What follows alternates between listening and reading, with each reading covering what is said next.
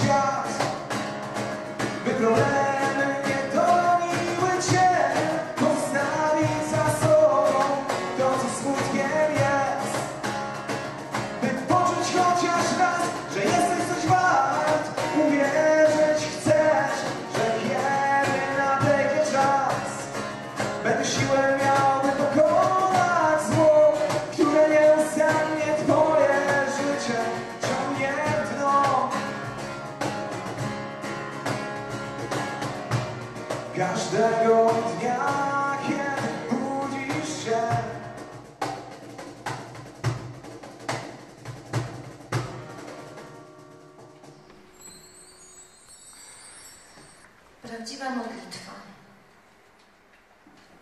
Prawdziwa modlitwa to nie tylko słowa. Zwierząt z kości słoniowej, jałowa, rozmowa. To łza, co się toczy, po policzku skrecie, to proste i szczere i pokorne życie. To wdowi grosz dobyty z tego, co nie zbywa, to uśmiech i serce, które troski skrywa. To matka tuląca pośród ruin dziecię. To na grobie kochanym świeżo ścięte kwiecie. To prośba do Boga o winy, darowanie, jako i my, i naszych, nim wieczór nastanie. Rodzą się wiersze. Troszkę nostalgicznie teraz jest, ale za chwilę będzie na wesoło.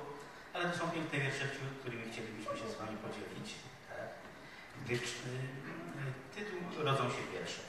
Gdy czas i przestrzeń przemijania, odrgania serca się potyka, rodzą się wiersze pośród łkania, gdzie wszedł przeradza się muzyka. Stąpamy wtedy pełni doznań, płodząc obrazy drżącej duszy. Pośród najszczerszych serca wyznań pamięć serdeczna łza osuszy. Do bram spiżowych kołatamy, by blaskiem pereł się podzielić.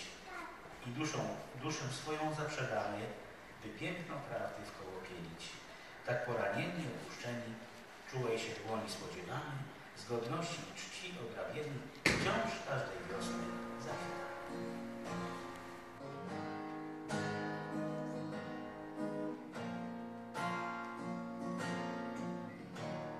Gdybym tylko mógł, dałbym Ci cały świat, wszystkie te bogactwa i miliony gwiazd. Ale nie mam nic,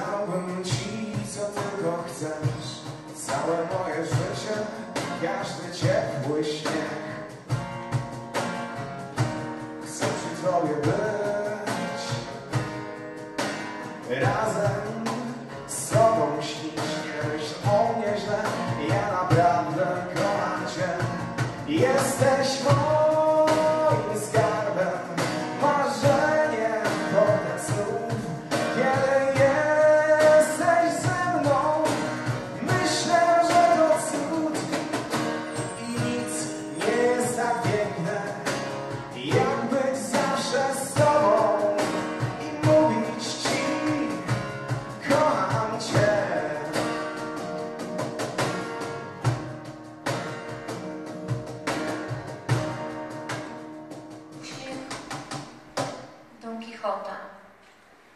Co to jest za tajemniczy tytuł? A to jest, to jest tytuł tomiku, który miał być na dzisiaj yy, przygotowany, ale ze względu na upały, no tudzież yy, szlach- szlachetne intencje, trzeba jeszcze troszkę nad nim posiedzieć. W związku z tym dzisiaj go nie ma, ale niektóre wiersze, które są w nim zawarte, mm, dzisiaj Państwu przedstawiamy, a na następny webinar Powiedz więcej o tomiku, jak narodził się pomysł, e, kto jest zaangażowany w produkcję książki. No i same dziewczyny są zaangażowane. Jakoś tak się złożyło, że spotkaliśmy się całkiem przypadkowo na jakimś wernisażu. Yy, Mirek mnie poprosił, żebym powiedział jakąś fraszkę. Mm, powiedziałem jakąś fraszkę wesołą, yy, a potem drugą i trzecią, a potem jakoś to poszło i pomyślałem sobie, że dobrze jest to, ponieważ z szuflady zaczęło już wszystko wychodzić Niech to idzie do ludzi. Wszak to niesienie iskrą Bożą mamy talenty, które trzeba, którymi trzeba się z innymi podzielić. No. No tak. I mm, y, no ale to, to, to też nie o ilość chodzi, tylko chodzi o. No ale to o czym świadczy? Że te wiersze po prostu, no, Bo, bo to jest tak, jak czytam komentarz kogoś y, y, pod moim wierszem, to do niego układam wiersz. No tak jakoś ma. Y, On się, on się sam rodzi. A co to, co to znaczy fraszka na dzień dobry? Czy fraszka, gdzieś tu zapisałam sobie. Fraszka na dzisiaj. Spotykasz ludzi w sklepie, na ulicy. I co się dzieje? No i pytam, czy wyglądam na poetę. No, może kogoś nawet z Was no pytałem. i co mówią? No i tak patrzą na mnie, y, a czasami przy kosiarce stoję, czy jakieś tam narzędzie mam. No i to ja może powiem Państwu, Państwu jakąś fraszkę na dzisiaj. Pani smutna w Biedronce albo jakaś staruszka przygarbiona i ty mówisz na pokrz- dla pokrzepienia serc. Na przykład pozwól mogę Wam fruwać swobodnie po niebie, a na swoich skrzydłach poniosą Ci i Ciebie. Życzę miłego dnia i już jest trochę więcej uśmiechu. No i mi też jest raźniej, bo, bo nie jestem sam na sam z moimi myślami. Tak to już jest, że przed wieczorem autorskim osoba prowadząca spotyka się z autorem i omawiamy szczegóły. Oczywiście trzeba wszystko systematyzować, uzgodnić.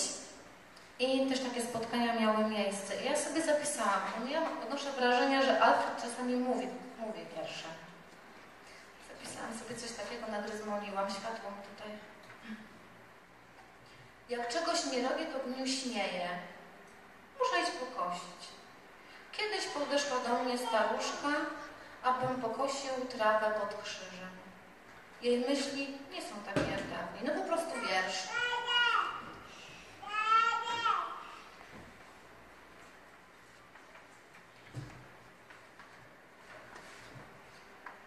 Alfred, mam do Ciebie prośbę, abyś przeczytał kilka wierszy, które znajdą się w nowym tomiku, który będziemy promować już po wakacjach.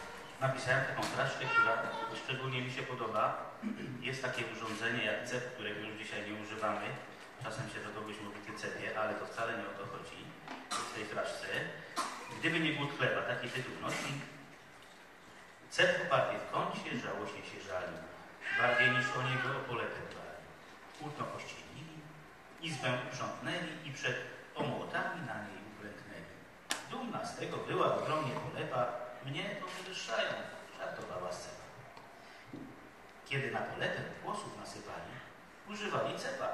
Teraz on się chwali. Niechaj się nie chwali ni cep, ni polepa. Gdyby nie głód chleba, nie byłoby cepa. Bo gdy świeżym chlebem zapachnie dom cały, i cep, i polepa dostępują chwały. A ponieważ ona ma być na wesoło, przepraszam, to, to taki śmieszniejszy wiersz zatytułowany Punkt G. Taki tajemniczy tytuł. Kto istotę sprawy właściwie rozumie, cieszyć się czasem i przestrzenią umie. Kto najpierw sedno rzeczy czule rozeznaje, ten się e, e, znanym ekspertem i praktykiem staje. Zanim się ciało namiętnie rozrusza, wpierw dopieszczona powinna być dusza. Sen definicji ten w pełni pomieści, kto słowem i czynem stan rzeczy dopieści. Myśli i czyny wtedy się siłę mają, kiedy płaszczyzny wspólne uwzględniają. Punkt G w istocie jest jak ludzkie zdrowie, po trosze w ciele i po trosze w głowie.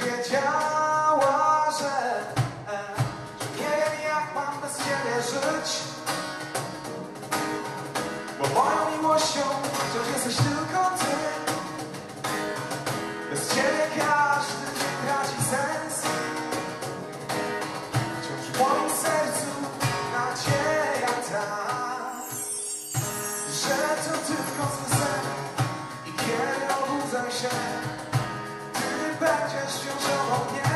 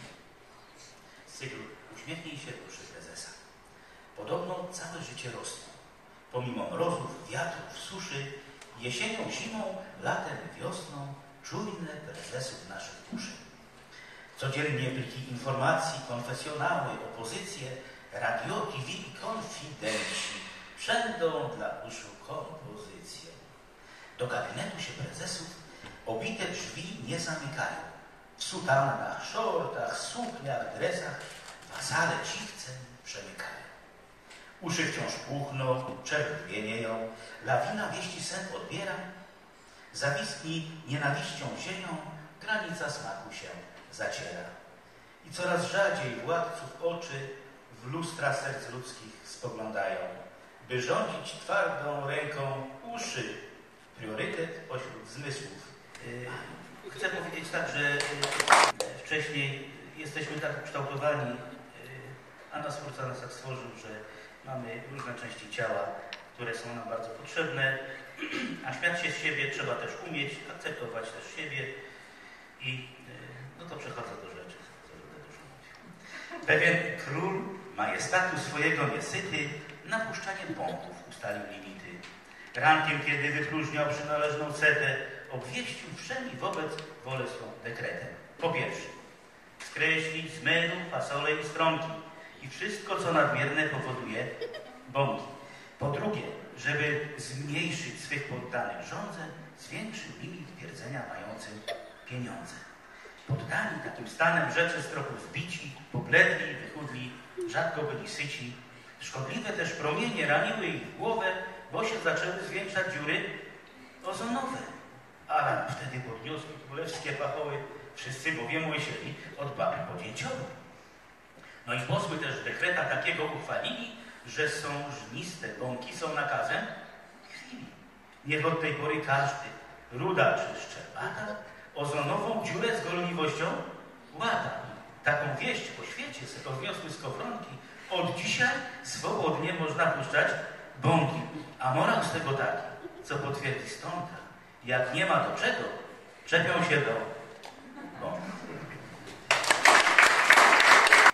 Przerabialiśmy jakąś lekturę Adama Mickiewicza, może to był Pan Tadeusz, pewno tak. No, napisałem o o, o, o Mickiewiczu taki wiersz.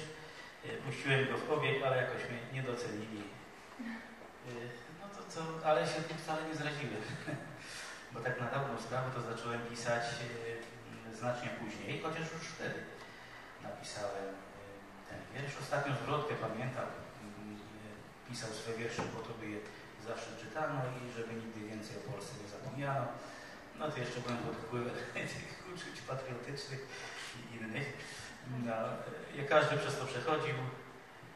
No, a później, y, jak już chodziłem y, do szkoły średniej, to idąc drogą z nudów, a miałem dwa kilometry, to sobie wyjmowałem po, drodze drzewo, lewo, chmura, kura i tak mi jakoś to weszło do pamięci, że, że w tych moich utworach jest dużo rybów.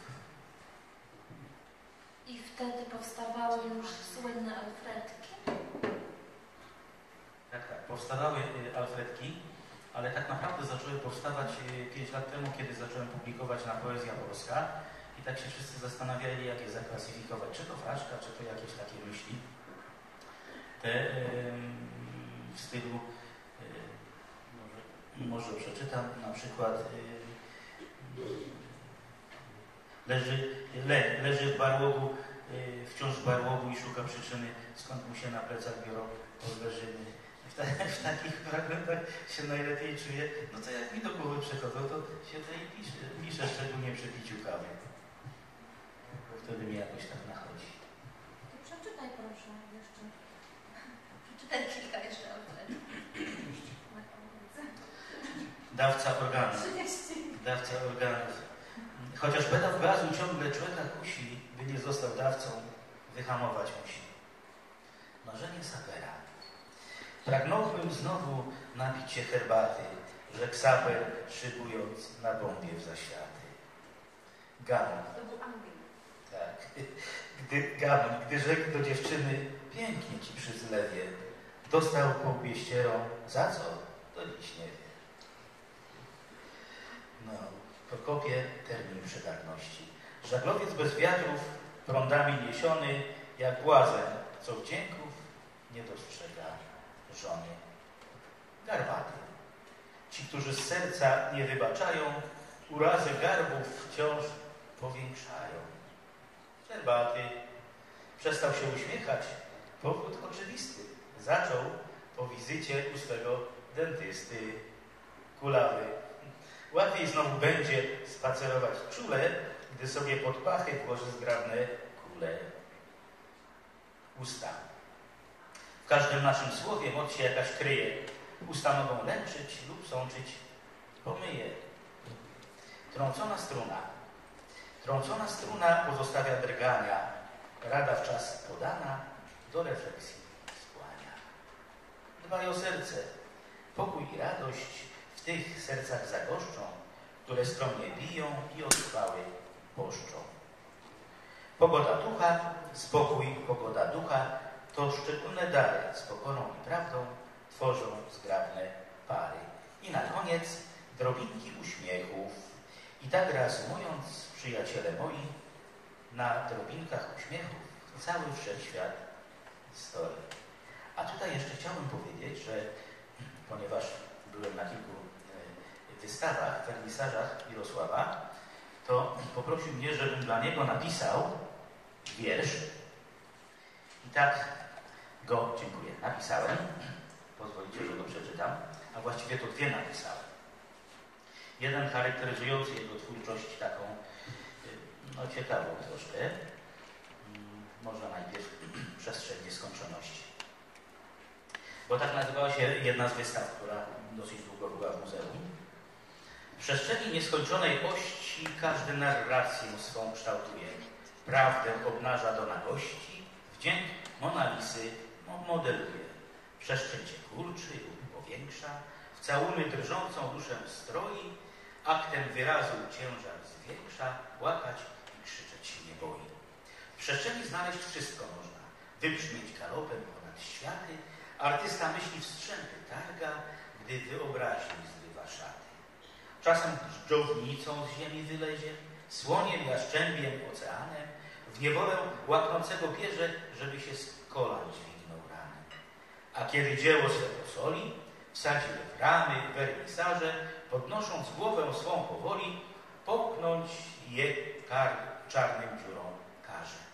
Dziura je konsumuje trawi między stopami, brzuchem, głową i jak Picasso Rembrandt dali, wybucha w przestrzeń supernowa. Zero.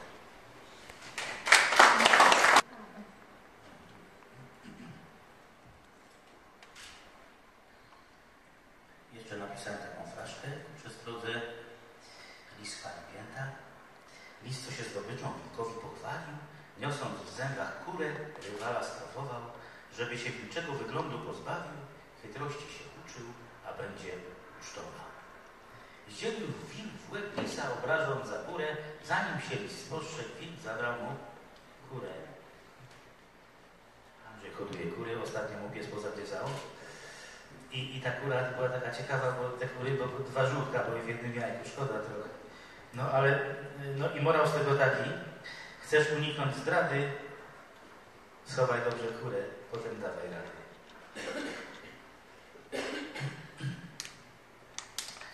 Właściwie, kochani, to y, w tym tomiku będzie więcej utworów, Y, a ponieważ jest dosyć duszno i gorąco, zatem bardzo serdecznie Wam dziękuję za przybycie, za wysłuchanie, bo to jest też ważne dla artysty, że ma, że ma przyjaciół. Y, I po tych y, wierszach tych dwóch, które o Mirku przeczytałem, chciałbym wspomnieć, że przygotowaliśmy tutaj dla Państwa obrazy, które Mirek maluje. To jest taki pejzaż y, w tym miejscu, pejzaż, y, jak on się nazywa, może coś powiesz o nim. Ja musiałem zobaczyć z tyłu, jaki jest. Może Alfredzie podejść i przeczytaj, bo to jest z pleneru. Pod Kielcami się odbył ten plener. Wykonałem tam troszeczkę obrazków. O, o Łąki Ła. Tak jest tytuł. Też mojego ulubionego zespołu, takiego grającego alternatywną, fajną muzykę nowoczesną.